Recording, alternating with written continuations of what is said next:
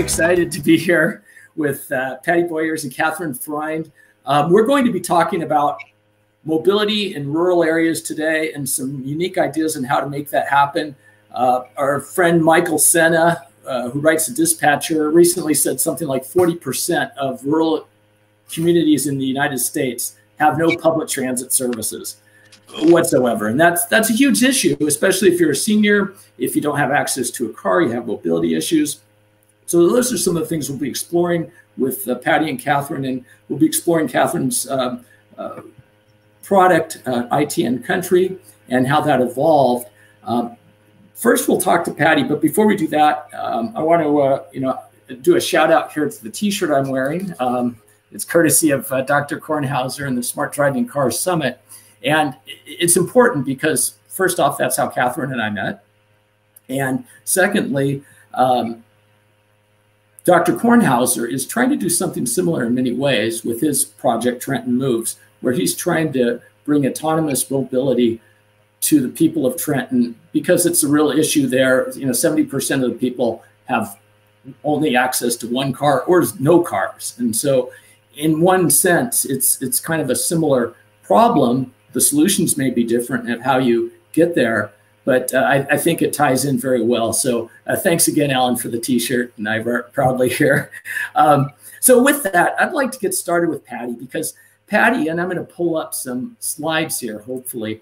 Uh, Patty, I've known her for uh, a while, um, thanks to uh, her work, volunteer work, I might add, with the uh, American Cable Association and she is chair of that association. And I'm pulling up some slides here because um, you, you, just uh, got to see some pictures of how Patty lives. First off, she is uh, a co-founder of a company called Boycom. Uh, it's in rural Missouri. And uh, I will let her talk to some of these slides in a moment, but I'll just quickly go through them. A picture of the parking lot with your trucks, and and the famous uh, Boyarosa, I believe I said that right. Uh, uh, beautiful expanse. So I think that road also says something about the topic we'll be talking about today. Um, and and Patty, besides being a telecom giant, is also a farm a farm girl, if I if I can say that. Uh, so some images, and and you have your girls. Uh, they look pretty cold right there, and I guess you have some other uh, other family members as well. So, with that, Patty, uh, with that introduction, why don't you kind of tell us a little bit about yourself, um, how you guys came into the tail, uh, cable business, and, and the area you serve and why you serve it? Well, Ken, thanks for having me. Uh, you know, I'm always game to get the opportunity to tell our story with uh, not just my story uh, with Boycom, but ACA's story and the 700 members companies that are much to, are much like us across the country. Um, you know, the ACAC, which is America, we changed our name again, American Communications Association, and we call our, our acronym is ACA Connects. And so we um, represent, like I said, companies just like mine who really have no voice uh, in in federal politics, but the federal politics are in our business. And so we uh, we banded together almost 30 years ago to give ourselves uh, to try to develop some kind of a leverage, and, and we have done that. Uh, one of the things in our mission statement is that we are the uh, thought leader on the Hill for the issues, the specific issues that are relative to rural provision of initially cable TV and then uh, uh, as we've rolled into it, broadband is dominating uh, the biggest part of what our uh, companies provide. And so, where I provide those services at, it's in Southeast Missouri. We we provide uh, uh, cable TV still uh, and broadband phone services to about you know four or five thousand people in a five county area in southeast Missouri. Now, we're not right in the Bootheel, but we are right before you dip down into that Bootheel. And uh, in four of the five counties that we provide service in are perpetually, perpetually impoverished, which is a designation based on the census. and uh, those counties, those four of those five counties, uh, have you know received that notorious um, designation because their uh, modern, uh, their mid to modern income annually for a home is below the poverty level since the 1960 census. So we have some we have some true challenges. You know, we have the Ozark National Scenic Riverways, all three of them in our area. We also have the Mark Twain National uh, Forest in our area, so you have to work with that federal agency, and uh, you know, just a whole host of other logistic and uh, geographic problems. Uh, you know, sparsely sparse population uh, you know, we have pet population that is shrinking in some areas. Uh, in some areas, because of broadband, they're growing. Folks have learned that they can go to the house and work from just about anywhere, but they can't do that without broadband. And that's just like uh, uh, Katherine's business is that, you know, you can't get to the doctor if you don't have a car if you live in the sticks. So I, I understand and appreciate what she's attempting and doing and thriving at. And uh, I look forward to, to sharing with y'all. And yeah, we do raise cattle. That's a subsidizes our, our broadband business. that's that's hilarious. I rearranged your uh, presentation just slightly, um, uh, Katherine, because you know that that saying I think it was by Covey about start with the beginning in mind. Um, there was, uh, I, noticed the final slide on your presentation um, had uh, a very, uh, well, has your summary, your kind of your bio. And I, I did not realize um, how acclaimed you are. And hopefully, are, are, you seeing the slide there, everyone? Okay. So uh, the, one of 12 people are changing your retirement, presidential appointee, advisory committee for the White House Conference on Aging, AAA Aspire, Inspire Award honoree. So you've done some cool things. And, and before you even really start, Katherine, if you could talk a little to uh, your, and I have to unmute you, um, a little to your, um, uh, you know, what what started all the your journey here, um, way back when? And if you have to unmute, it's on the lower left. I, I thought I could unmute you. I'm unmuted now. Excellent. But um, now that you've rearranged my slides, I'm afraid I can't speak now. Oh, everyone, every, all the others are the same. We, we could start with slide one. There we go. but but it is a, a, neat journey, and at some point today, maybe we can talk to that. We don't have to right now. We can follow your slide deck. well, no, I'm I'm happy to go through the slides, and um, you know, I think what you want me to mention is that. Uh, I got involved in this issue because a member of my family was involved in an accident.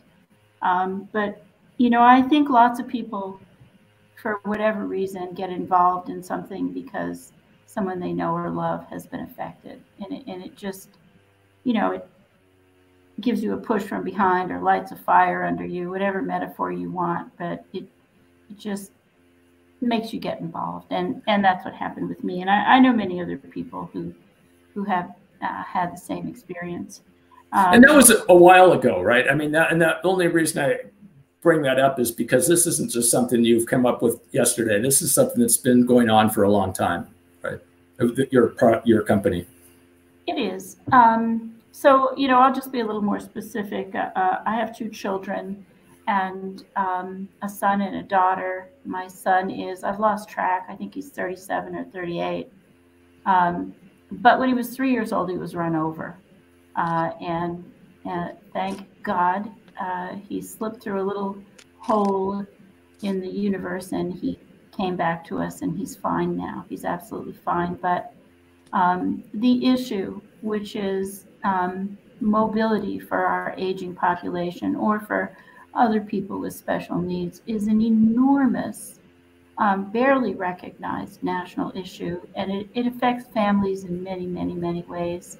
Um, I, I, recently have been introduced to uh, a man, Alan Lapotin. I hope I'm saying his name properly, and he's he's started an organization called Trusted Riders that provides trained escorts for older people who cannot travel alone. And I, I hope he will not mind my saying that he got involved because his mother uh, was walking from a doctor's office to a transit vehicle, and there was no one to escort her.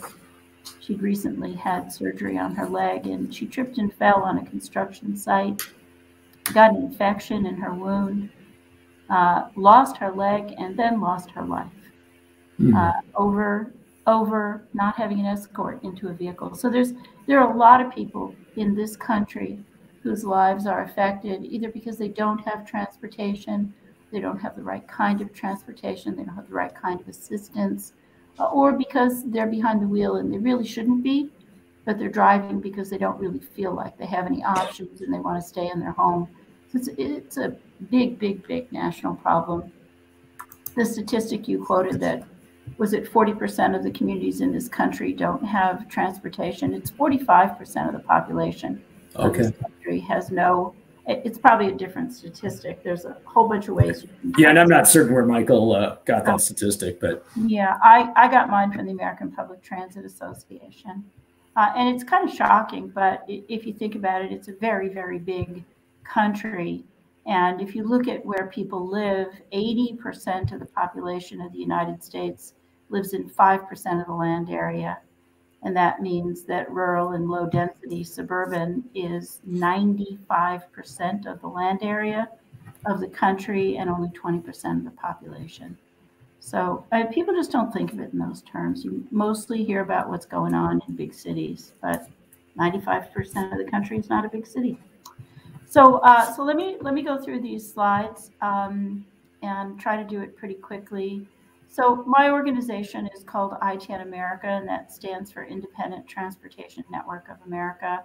And we've been working on this issue, unmet transportation needs, for uh, approximately 30 years. And we take a holistic approach. We're not just uh, supporting transportation providers with software, although we certainly do that. And I'll be talking about it in a few minutes. But we, we build the technology, and as a charitable nonprofit organization, that, that's a pretty unusual thing to do. We do that so that we can keep technology as affordable as possible for as many people as possible. Um, we also work on public policy. Uh, we have a whole training system, and I'll talk about that in a little while.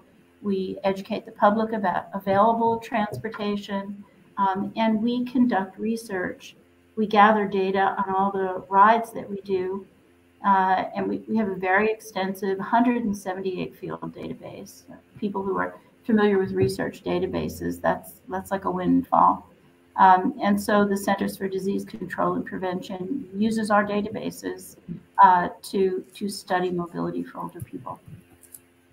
Next slide, please, Ken, and thank you for doing these slides for me. so, so today, what I'm going to talk about is a new program that we are launching called ITN Country, and it is it is low cost, it is flexible for every community, um, and it comes with training online, uh, and um, it is available to any nonprofit organization uh, and any governmental agency.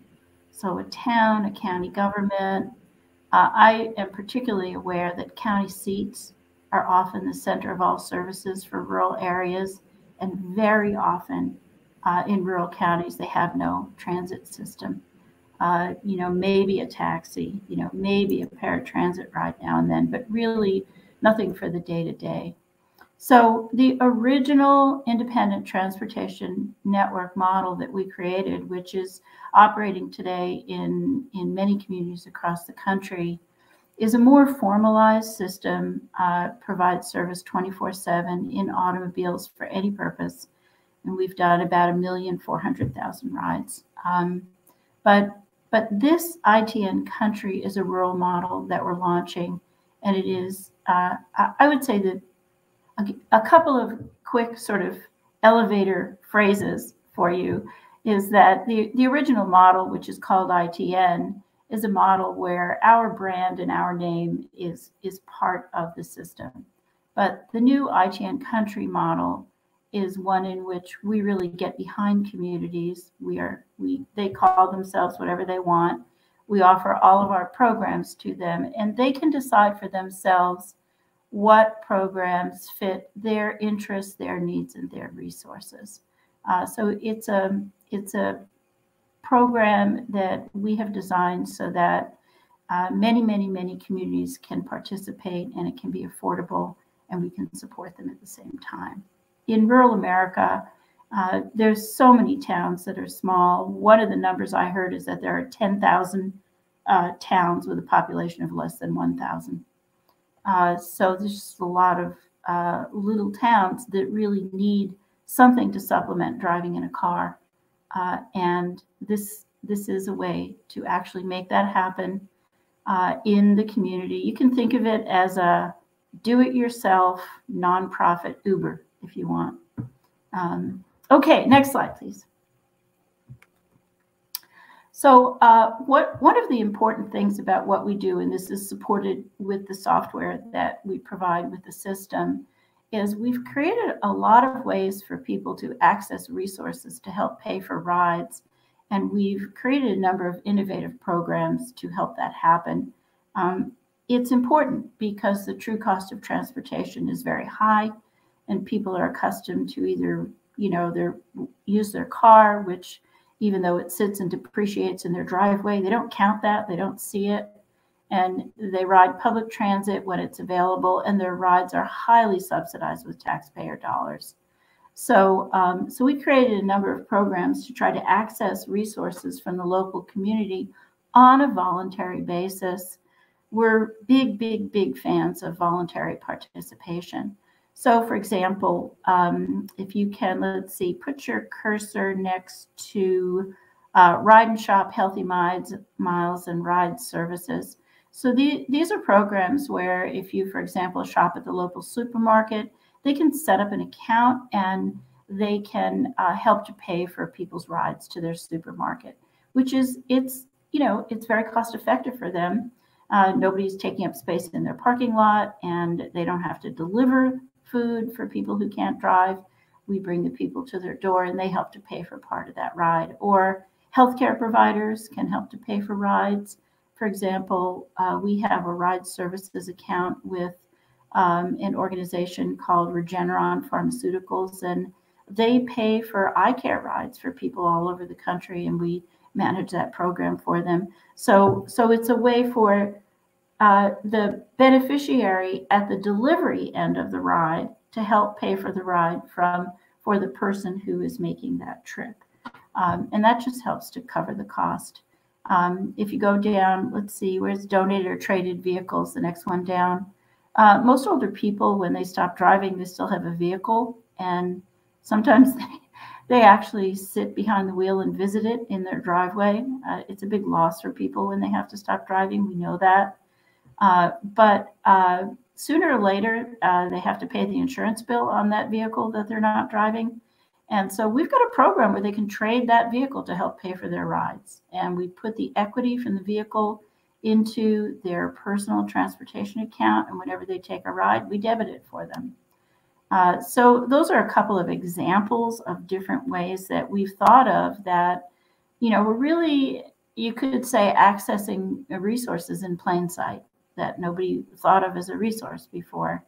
And one final one I want to mention is um, uh, transportation credits. Uh, when people volunteer to drive others, we uh, we have a program where the organization can give them a credit for that effort, and they store that credit in their personal transportation account, which is built into the software. And then when they're older, someone else will drive them, so they can kind of pay it forward. Um, you know, on on average, people outlive their decision to stop driving by 10 years. And I don't know why nobody talks about this because it's been established since 2002. It's called driving life expectancy, and we're all pretty much going to do it. But we're not driving to our own funerals. There's going to come a time when we're not driving, and um, so this is a system where you can drive someone now, and then someone else will drive you later or if there's another community on the ITN network, you can you can drive in your community and then your loved one in another community can pull those credits out and someone else will drive them. Okay, enough of this. Next slide, please. So the community in the cloud, this is our online learning center. Uh, and it supports uh, communities that already have a transportation service and want to be part of the network. But I think more importantly, actually, it supports communities that have no transportation service at all. Uh, and um, as I mentioned, that's 45% of the communities in this country, 40% of the communities, 45% of the population. Um, and so we have a free um, uh, information center, free startup tools on the community in the cloud. My my email's at the end, and people can email me if they want to um, get online. And, and that those tools, that toolkit helps people in a community who want to get started providing a, a volunteer service in their community figure out all the nuts and bolts of where do we have our service area you know you, you have to define it somehow um, how far are we going to serve people you know what's the service area and are we going to have paid staff or are we going to have volunteer staff and if we do this what kind of insurance do we need and all those basic questions. That is free and available to the public. Once a community goes through that planning, and we'll help help people with that, but once you go through that planning, if you are interested in um, joining the ITN network and using that technology, um, then there's a whole other set of tools that are available to you to help you manage and run your organization. And this online learning center, which we call the community in the cloud, is linked to the technology ITN Rides 2.0, which um, we've been building technology for about 20 years. We are now moving it to the Salesforce platform. And I'm uh, very pleased to say that all of our routing algorithms, which make your routing efficient, have been donated to us by Esri, and we're very grateful for that donation. Next slide, please.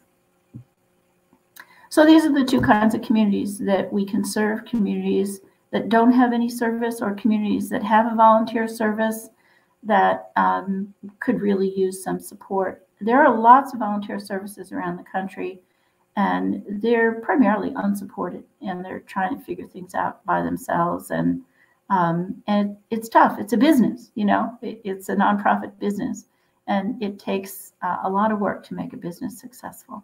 Next slide please. So this is uh, this is we're showing you our old stuff.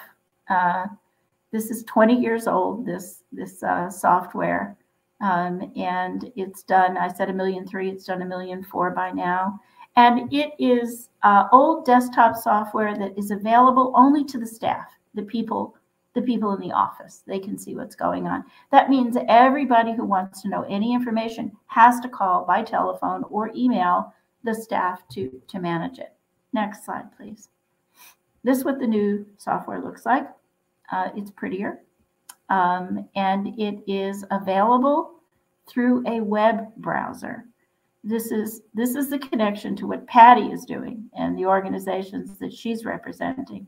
You have to have broadband to access the internet and access this program. But if you do have broadband, the full system of support is available to you for your existing uh, system, or if your community wants to get a group of people together and say, We are tired of seeing old people push shopping carts through the snow to get home, and we're going to get some rides for people, and we're going to get together and we're going to do it. You know, um, you can find everything you need through a web browser. Okay, next slide, please. Uh, that's an example of what a driver's manifest looks like. It has all the information that you need to serve people you can be sure if someone is using a service uh, that there's some reason why they're not driving themselves. It may be that they can't afford the car. It may be that they just had their hip replaced. It may be that they can't see.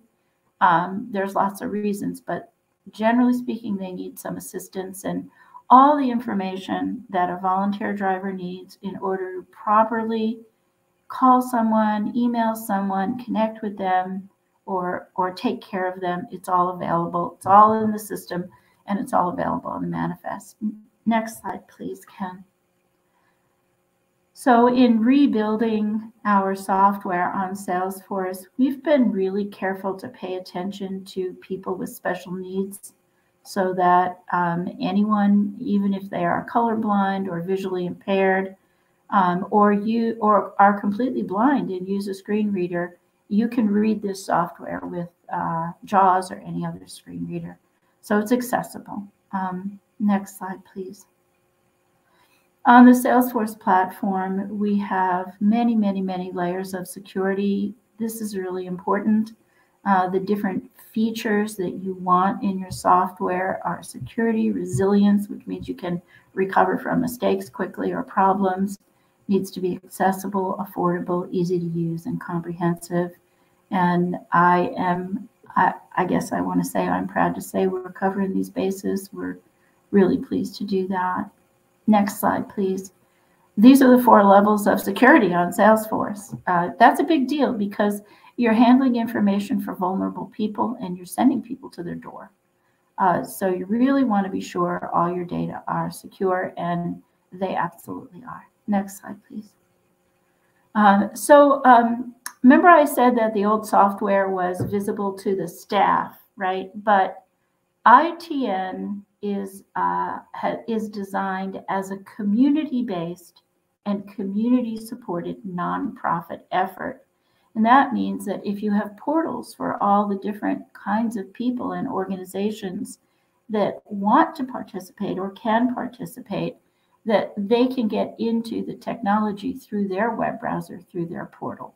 So the old software, no portals, the new software, uh, next slide, please. I think I got a picture of the portals here. There you go. The transportation staff obviously can get in. Riders, their families, their caregivers. It's especially important for older people who, who need some help scheduling their rides, uh, that their adult children can get on and schedule rides for them.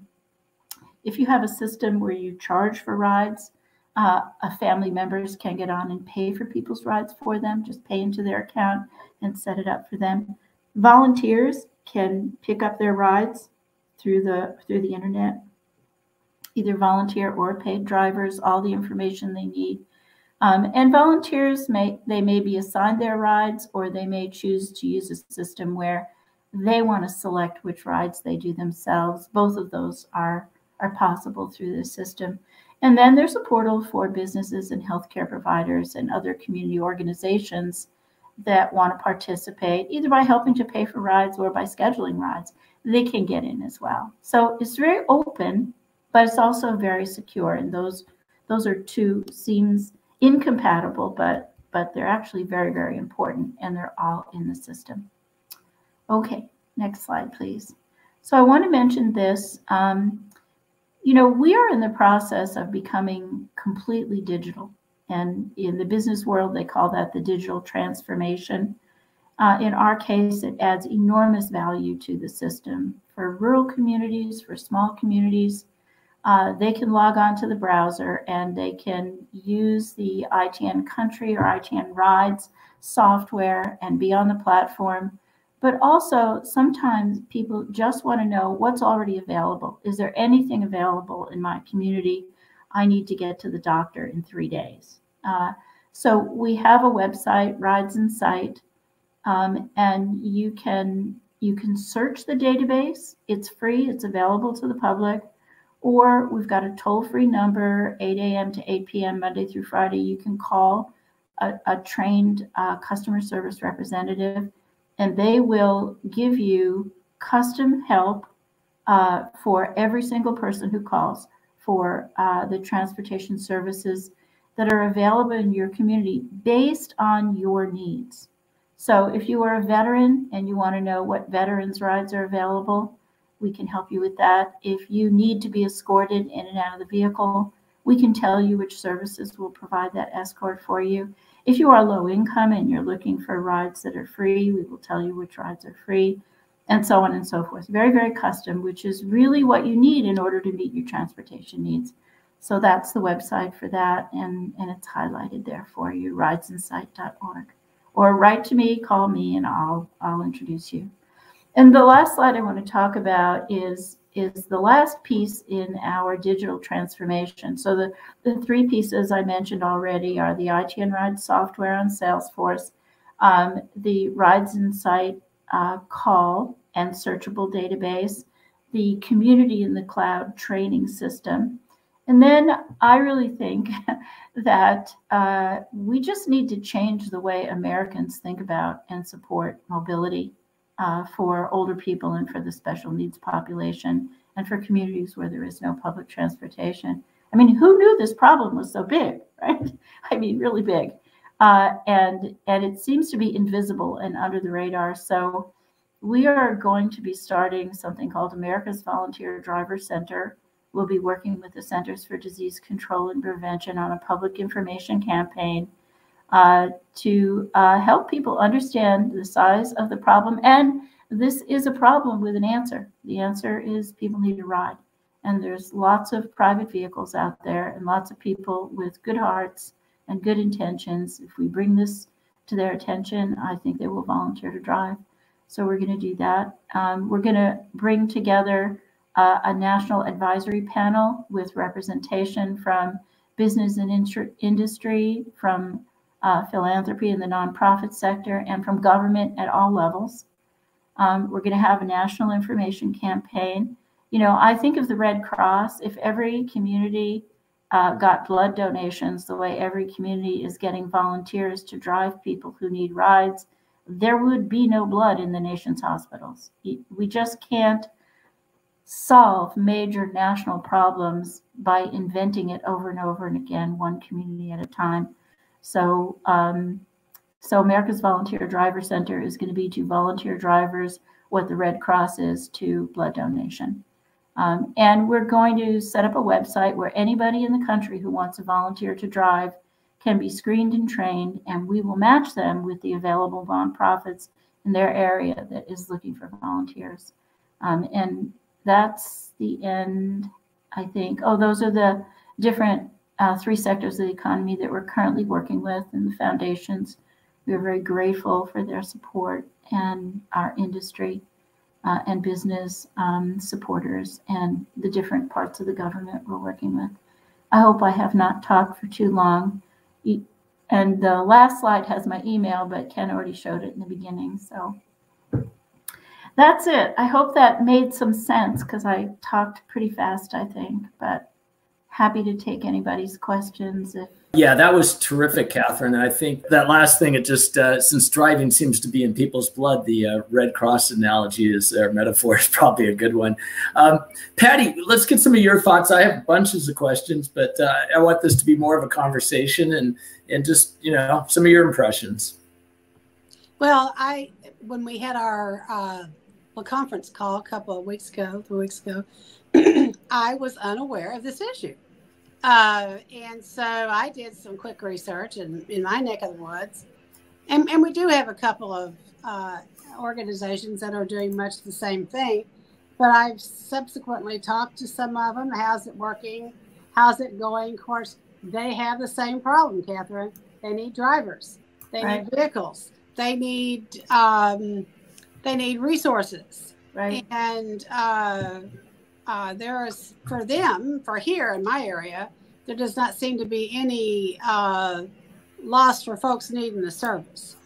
And so this is very much a needed uh, and you've been at it for 20 years and i gotta say i'm just johnny come lately to the deal. But i can see for the upgrade in your um, your platform on your to be web based now could be very advantageous uh, not only from a bringing everybody together, but to be able to, you you're out there in, in New England and I'm here in Southeast Missouri, and you can communicate in in real time with folks that are here, and that is based off of web based and broadband needs, and so uh, we do have a a centrally themed uh, uh, commonality. So uh, you know, I, I we do, you know, we do things for the community as well. You know, lower packages in some cases uh, to nursing homes and to hospice homes, and to we have we have a pretty good sized senior population. But um, you know, I and I, I applaud you for uh, this. This is uh, this is quite an undertaking, You all been at it a long time, so you seem to know absolutely every nook and cranny where there's money available. And uh, you know, Ken, I think it's a great deal. Well, that's that's good to hear because I I thought uh, I thought the same thing, but then you know I live in the city and and you know in San Jose alone there's 125,000 people over 65 years old. Um, you know I'm sure a lot of them I know a lot of them have problems getting around. So if it's it's that big of a problem here and we don't necessarily have good solutions, uh, clearly there's it's an issue elsewhere. One question I have, uh, you know, I, I just read a, an article uh, in AARP about uh, scamming and how, um, you know, it's it's uh, it can happen to anyone, regardless of education, intelligence, whatever. Uh, and, people, uh, it said the one common denominator was they get people at kind of their weak times, their emotional times. And and I, you know, to your point about the security and the data, how do you make sure that you don't get some bad apples who are volunteer drivers? How do you, you know, uh, how do you prevent that? Uh, it's a good question, Ken, because because not only are we recruiting volunteers, but we are sending them to the door of vulnerable people. So um, I can speak for our affiliates or any of the organizations that are on our network but we do a criminal history check, we do a moving violation check, we check their vehicle. If they're in a state with inspection stickers like Maine, we make sure their inspection sticker is current. We make sure their insurance is in place and their license is current. And we provide training for them for, and actually right now we're shooting the videos for the community in the cloud online training center so that we can show people this is how you escort a person with visual impairment. And this is how you fold a wheelchair. And this is how you help a frail older person so that you are helping them not imposing on them. You know you have to be thoughtful and respectful about how you offer assistance. So we we we look at the safety issues from many different perspectives. I mean, we want to provide safe mobility for people. So it's different uh, than maybe I'm speaking out of turn here, but you know, I, I think it's much more careful and thoughtful than any of the paid services I know of. Um, I don't want to be unfair to anybody, but we, we're just really careful. My, my standard here was if is this person safe enough to drive my mother? Um, mm. and, and if they are, then they can drive someone else's mother. You know? That makes sense. Mm. While we're on the topic of insurance, and Patty, jump in at any point, but uh, uh, what I know we've had this discussion before, but different states have different policies, literally policies for for what a volunteer has to do in terms of insurance. Do you want to talk to that for a moment, just in general? Me? I guess so, yeah. Unless Patty wants to talk about it. Oh, go ahead. I, I'm interested. Well, I mean, it's usually the first question everybody asks insurance. Um, and insurance is not federally regulated, it is regulated by state legislatures. So it's it's a little bit different in almost every state. Um, and um, I, I would recommend to people that they contact not their agent, but look for the policies of the insurance company. In, in, and that's because agents are sometimes just not that well informed. They'll say, "Oh, volunteer, you know, this doesn't cover you. Your your personal insurance doesn't cover you." But uh, in fact, um, it does. It does cover you. Uh, in Maine, there is a policy passed by the state legislature in 1995 that says that an insurance company may not unreasonably or unfairly deny you coverage or increase your premium because you use your vehicle to volunteer to drive. And and that policy has been copied in in many states. I I can think of uh, Florida, Kentucky, Maryland, um, uh, in the outskirts of Chicago, but not the entire state of Illinois. Um, and uh, and that means you you know I like to tell people, you know, can you drive someone else? That's why your car has seats, right? You know, you, you can put someone else in your car and drive them somewhere. We all do it all the time, and and you shouldn't be discriminated against because you're volunteering. Um, a couple of years ago, Uber and Lyft had paid lobbyists going through the country. And in three years, they changed policy in 47 states and the District of Columbia. And a lot of volunteer services were inadvertently swept up in those changes. Uh, so um, AARP has done a really nice paper on uh, uh, insurance policy and what can be done and what cannot be done. But I mean, if anybody's having trouble with their insurance, call me. I'll help you. I'll link. I'll link to it in the write up. Uh, okay. Uh, from a training perspective, uh, uh, you have these videos. Are those going to be on a YouTube channel, and are those the kinds of things that I, I suppose you'll want promoted? well, some of the videos will be in the free section of our online learning center, and some of them will be in the section for communities that have decided that they would like to be on the platform with us. Um, so, so both. Um, I can send you links to anything that's free. People will just have to contact us, and we'll give them a password, and they can get it. From an ISP perspective, Patty, um, you know, putting on your ISP hat uh, and or you know ACA, what are your thoughts on this as far as how this might complement what you do, or vice versa, how what you do complements uh, what Katherine is doing? Well, I think every every company that I'm aware of, especially the members of uh, the ACAC, have you know free community uh, billboards, uh, scrolls. They'd have their own. A lot of times, have their own uh, community calendars and all that kind of thing. I could see where um, some free advertising, some you know community public awareness kind of things about the about the services being available.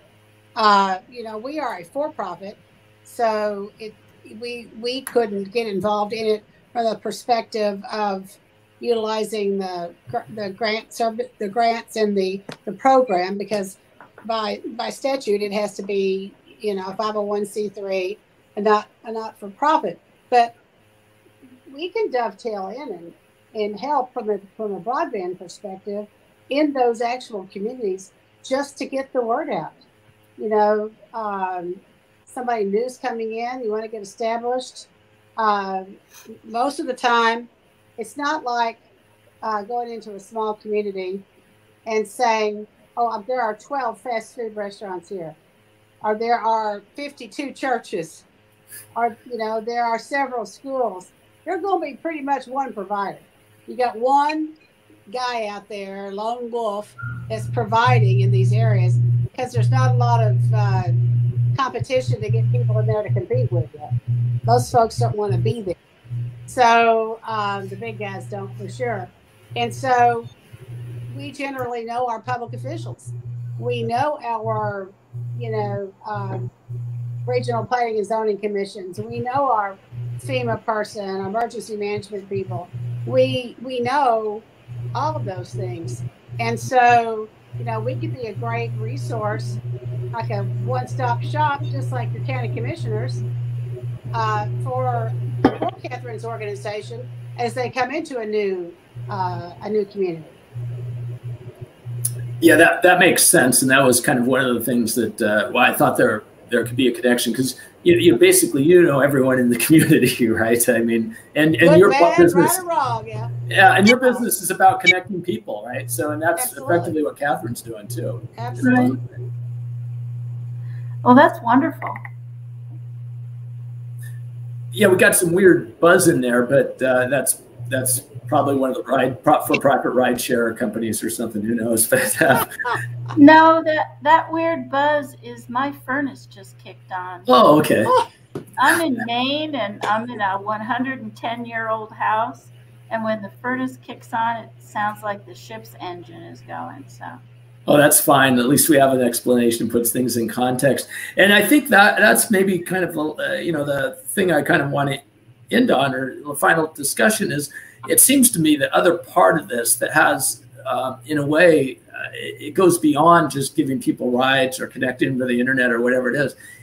Both your organizations offer that opportunity to kind of build community or maybe strengthen community.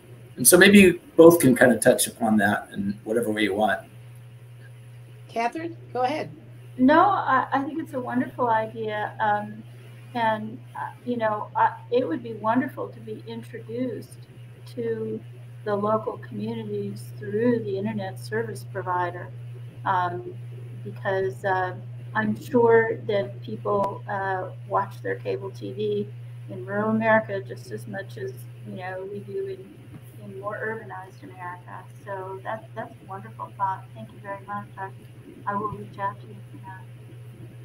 And I think, you know, from a perspective of ACAC, that gives you, you know, 600, 700 companies in little bitty places uh, all across the nation that in that 95% that you talked about, uh, that's where we're at.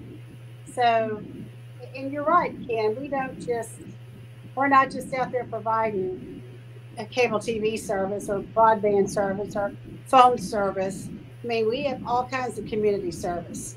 You know, we provide schools, we provide Wi Fi hotspots, we have done uh, above and beyond in our communities because we're the only one there, and uh, and it's the right thing to do, you know, and and this is the right thing to do to be able to help our seniors and anyone else, anybody else that's compromised, uh, low income, you know, uh, handicapped, anything, anything like that, that we can reach out and uh, at least get um, an organization, Katherine's organization, or ones just like it into those communities to provide some much needed services. Yeah, what's really cool is Katherine not only um, uh, in, in uh, you know talks is the owner of the product, I guess you're nonprofit owner, but she uses the product. So, Katherine, why don't you just tell me, uh, tell us a little bit about uh, how you'll go at five in the morning to bring someone to a uh, uh MRI or whatever it was. Oh, uh, I guess uh, I still drive, um, and I enjoy it. Um, volunteering to drive is an incredibly personal, rewarding experience. You know, you sit on the front seat next to someone, you have a conversation. Um, and I always volunteer for the middle of the night or early morning rides. I, I don't sleep well anyway, so I may as well be helping somebody do something. So I, I do the 5:30 a.m. dialysis rides or airport rides. Uh, but there's one ride I do every Sunday that they need me, and it's someone who's been an ITN member for 23 years, and she's really proud to tell you she's 95. I take her to church, and she is the person who folds and stuffs our invoices every month and sends them out as a volunteer. Uh, I will also tell you, we take a 100 year old woman to work six days a week. She's been riding. Oh my gosh. And it's volunteers. She goes early, early in the morning. She tells everybody what to do. Um, and when the weather's nice, she wears her leather mini skirt. Um, such hot stuff. Everybody loves to drive her.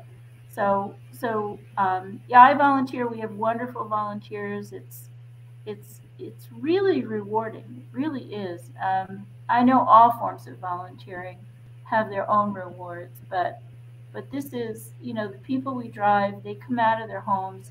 They are so happy to see somebody. Sometimes people are isolated and they don't see anybody for a long, long, long time.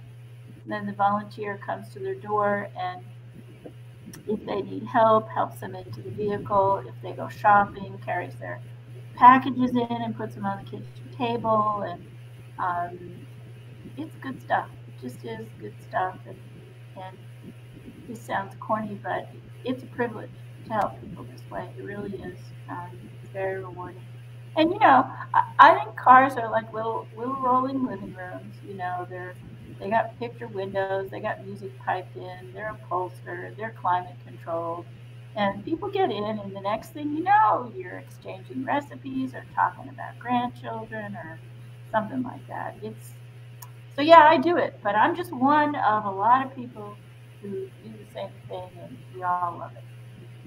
Well, it sounds like fun. It sounds like uh, a, a, great thing for this country. you know, the ITN country is an appropriate name for that. So, Patty, Katherine, I both appreciate your time today. Kath, uh, Patty, did you have any final comments or? Well, I just I just want to shout out to Katherine. I bet uh, COVID was a real uh, challenge for us.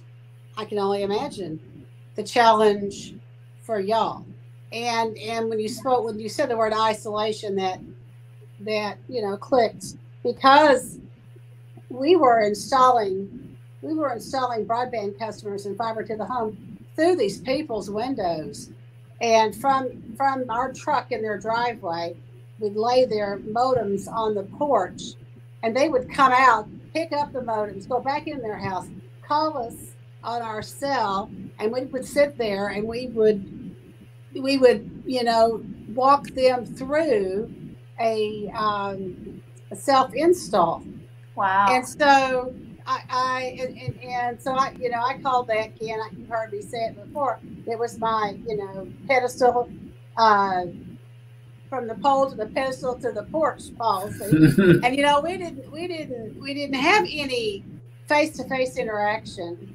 You know, our customers are all the people are busy. But you know, folks like to visit, and they like to, especially if it's a, a senior citizen, maybe a widow, a widower, sitting there. Uh, all they've got that television, and uh, or you know their internet or their iPad or whatever. And I can see where it would have impacted your business greatly because you still got those doctors. That's the other thing we're big into is telemedicine and and provided the doctor visits via Wi-Fi rather than than in person because of health issues and and because of the pandemic. How'd that affect you? Uh, well, uh, we we lost a couple affiliates who couldn't make it through, um, and all of the services, with the exception of one or two, are doing fewer rides now than before the pandemic hit. Uh, but um, uh, the lion's share of our services have stayed running. The kinds of rides we do are different. It's much more necessity rides, uh, food or um, healthcare appointments. But I think, you know, before COVID hit, uh, I can tell you from the data we gather through our database that the average age of people we serve are uh, is uh, about 80 and the most common age is 85. Uh, and uh, three quarters of the people nationally are women, and 62% of them live alone. Wow. So, you know, nursing homes are only 5% of the over 65 population. It's mostly people living alone in their homes. And, you know, I guess if, if people listening have experienced social isolation in the last two years. Um, please know that older people in this country living alone in their homes have been experiencing that for a decade or more, and many more will in the future. There's a lot of isolation if you can't drive anymore. And I'm sure they all love their internet connection, and God knows I do. It's on 24 hours a day in my house. But um, but sooner or later, it's just nice to be with a real person and connect. Um, it, it just, I know how I threw my arms around my children's necks when I finally got out of isolation here and how important it is. So, you know, who knows where we're all going to be on the other side of this pandemic? You know, we think, I don't think it's going to go back to the way it was. Um, I think internet is going to be a whole new world uh, and essential part of everyone's life. Um, and I think work is changing, you know, more remote work. There's a lot of changes that we're all going to live with. But the good thing is that people are people and we're going to be back together in some form or other. And also, I want to say, uh, people are really good at helping each other if you give them a way to do it and make those connections, whether it's through the internet or through transportation service. Um, people people will be reconnecting I know I sound corny, but I don't care. not corny. We, we're herd animals, you know. Uh, even there you go. know, we are herd animals, and and we do like interaction with one another. Once we started going back into people's homes, here, of course, the state of Missouri never did have a complete shutdown, but uh, and, and the only cities that actually had mandates were Kansas City and St. Louis. So I like to tell folks, which is the truth, that we socially distance as a way of life down here. so it, it is. It's not like, um, but but still, yeah. whenever you go into a, a senior citizen's home and work on their cable, we've got our technicians. They get pie. They get, you know, can I get you a cookie? Can I do something for you? And they end up spending 30 minutes on a 20 minute call or 35 or 40 minutes on a 15 minute call because they're having pie. But you know, that's how you build customer relations because you just it and it's just the right thing to do. And I, I believe, Katherine, just like you, that most folks are good, and that we will find a way to um, we will find a way to uh, still relate to one another and and and be good people. Here, here. Yeah, that that's a great way to end today's conversation. I, I can't agree more with uh, with that, and I've just been uh, so thrilled to have both of you on here. Um, a couple comments in the uh, Twitter. Um, uh, we, you know, we talked a little bit about liability, um, but maybe we should address that. There's a couple of comments I missed earlier. Thank you, Lila. And uh, she says every time this subject comes up in my work, Georgia Department of Public Health older driver safety program, the first everything first thing everyone yells is liability. Can you talk a little a little bit about this? Um, and we've uh, we have talked a little bit about it, but I don't know if there's any more to say about liability. I, I've said everything you know I can say. You know, uh, there is insurance, and and people are covered. Um, and I, I remember when we first got started, uh, the insurance company called and said, you know, you, you just can't be escorting these frail older people in and out of their house. You know, you just can't do that. That's too risky. Um, I, I can remember where I was sitting when it happened. And I said, Really? I said, Well, we will do this. I said, So you tell me what the bill is, and we will get our checkbook out and we will write you a check because someone needs to escort people. So we will do uh, so there is insurance. Um, everybody worries about it, and rightly so, but um, everybody can be covered. No doubt. You know, can we live in a in a litigious society where, like she just Lila just said, the first thing people say is liability, and then the second thing they say is suit. Yeah. And uh, and so that's where the liability comes from is to cover your rear end when you get sued. One thing I have learned about the insurance industry is it has grown with, morphed with, and transitioned into uh, many different kinds of coverages that probably weren't initially available when Katherine started her business. And and and they will they will grow with it. They'll figure out a way to cover, and they'll come up with an actuary to tell you how much you're going to pay for it too but they will they will cover it. And and there are ways of doing that going to your state insurance boards uh, in, in your states like right there in georgia. You can go to the state house and there's a department of insurance uh, and, and then insurance companies can be um, compelled to cover your specific needs. Uh, their problem is actuaries and how you figure out what that's going to be. But uh, after they get rolling, the insurance industry is, is pretty flexible. They'll roll with you if you're if you're legitimate, and it's obvious. This organization is very legitimate. Well, in a million four hundred thousand rides, I do not know of one lawsuit.